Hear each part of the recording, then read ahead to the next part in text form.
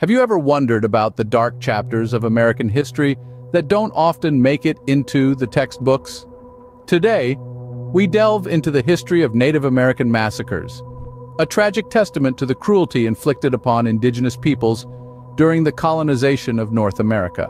Our journey begins with the Wounded Knee Massacre in 1890, marking one of the final conflicts of the American Indian Wars. At Wounded Knee Creek in South Dakota, U.S. soldiers brutally ended the lives of about 150 to 300 Lakota Sioux, including defenseless women and children. Fast rewind to 1864, and we find ourselves in the Colorado Territory for the Sand Creek Massacre.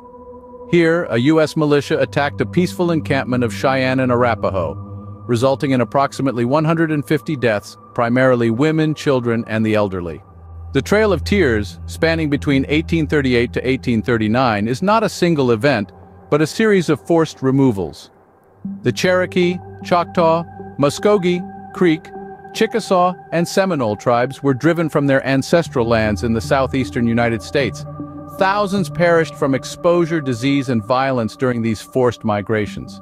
The Bear River Massacre of 1863 saw U.S. Army soldiers attacking a Shoshone village in present-day Idaho, killing approximately 250 Native Americans, including women and children. In 1873, the Colfax Massacre occurred in Louisiana, where white paramilitary groups targeted freedmen and their families. Over 100 African Americans and three white men lost their lives in this brutal attack. The Yontocket Massacre in 1853 witnessed settlers in California attacking a Tolowa village during a religious ceremony, resulting in about 150 Native American deaths. During the Marias Massacre in 1870, U.S. troops attacked a peaceful camp of Blackfoot Indians in Montana, killing around 173 individuals, including many women and children. The Bloody Island Massacre in 1850 saw California Rangers attacking a Pomo village on an island in Clear Lake, resulting in at least 60 deaths of men, women, and children.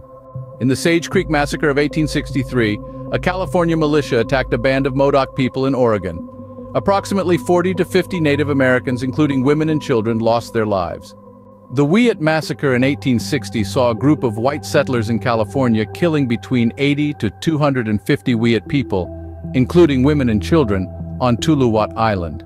These massacres represent just a fraction of the violence inflicted upon Native American communities throughout history. Countless smaller-scale incidents also occurred, contributing to the devastating impact of colonization on indigenous peoples.